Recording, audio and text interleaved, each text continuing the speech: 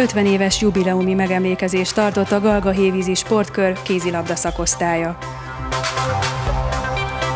Idén először rendezték meg országosan a tájházak napját. Szada is csatlakozott a kezdeményezéshez. Vállalkozói fórum indult Gödöllön, gyújtópontban az üzlet címmel. Az eseményre környékbeli vállalkozókat várnak. A harmadik helyért küzdenek a gödöllői futszalosok. A szombathelyi csapattal döntetlent játszottak.